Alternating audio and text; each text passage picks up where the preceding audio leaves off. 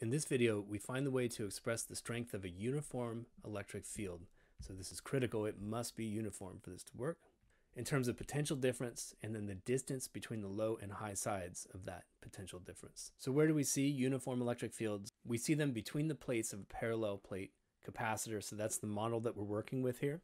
I'm going to give you a quick reminder that the general definition of electric potential is the potential energy per unit charge. And that means in turn, the potential energy of a charge is given by Q times V. And I could also say the change in potential energy of a charge is given by the charge Q times delta V. And what we're going to do to get a handle on this electric field magnitude is we're going to compute the work done by the electric field as we move this charge from this bottom plate all the way to the top plate. So you can imagine we're pushing the charge along to counter the electric force, but what we care about is the work done by the electric force. And that electric force points downward and it has a magnitude of QE. So let's look at the work done by the electric field as we move the charge from its initial position all the way up to the final position at the positive plate, a distance d away. Because the electric force points opposite to the displacement vector, the work is going to have a minus sign. So I have negative QE times d. Next, I remember the general relationship between the work done by a conservative force, and the electrical force is a conservative force, and the change in the potential energy. So the work done by a conservative force is the negative of the change in the potential energy as an object moves from the starting point to the finishing point. I can plug into this and say, okay, well, the work done by the conservative force is negative QED, and the negative of the change in potential energy, it's going to be negative Q times the change in potential, just referring back to this formula, and the change in potential is the final minus the initial, so V minus zero. The minus signs cancel out of this, the Q's cancel out of this. And I arrive at ED equals V. And what we're interested in is expressing the electric field magnitude in terms of that potential difference and the distance between the low and high sides of that potential difference.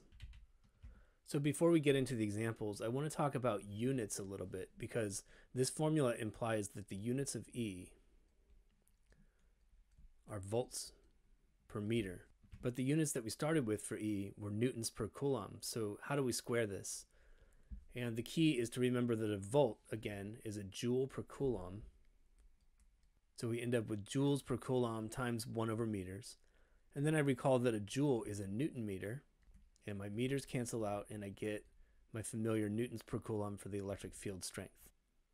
It is important, though, that you're comfortable switching back and forth between volts per meter or newtons per coulomb when we're talking about electric field. All right, let's get into the examples. In the first example, I'm told the distance between the plates of a parallel plate capacitor is 1 millimeter, and the potential difference is 10 volts. Give me the field strength between the plates. So this is just a simple plug in the numbers kind of problem. I just have to convert units on D to 0.001 meters. V is 10 volts, and this means that E is V over D, 10 over 0.001. And I get 10,000 newtons per coulomb and if you like, you could call that 10,000 volts per meter. The second problem just turns the formula around a little, but there's some interesting background in it. So we're told the dielectric breakdown of air happens at a field strength of about 3 million newtons per coulomb. What this means is that if you subject the molecules in the air to a high enough electric field, you can actually start ripping electrons off of those molecules, and you'll end up with a cascade of electrons flowing through the air. So the air actually begins to conduct electricity. We call that a spark. So if I get to this 3 million newtons per coulomb threshold, my parallel plate capacitor would discharge across the plates with a spark. So my question is, given the same one millimeter plate spacing, what's the maximum potential difference I can put on this thing before it sparks? So again, D is 0.001 meters. I'm trying to get right to the threshold where sparking occurs, and that's an electric field strength of 3 times 10 to the 6th newtons per coulomb and I want to know what's the potential difference corresponding to that. So I simply turn around my formula for electric field and I write that V is equal to ED and that's 3 times 10 to the 6th newtons per coulomb. D is 0.001 meters. and I end up with a potential difference of 3000 volts. So if you charge this capacitor to 3000 volts, that's the threshold where a spark will discharge this thing and set it back to zero. If you find the physics content on Zak's Lab helpful, click on the Zak's Lab logo on the right to browse playlists and subscribe to the channel. I produce over 100 new videos per month, and subscribing is the easiest way to find new content. Thanks for watching.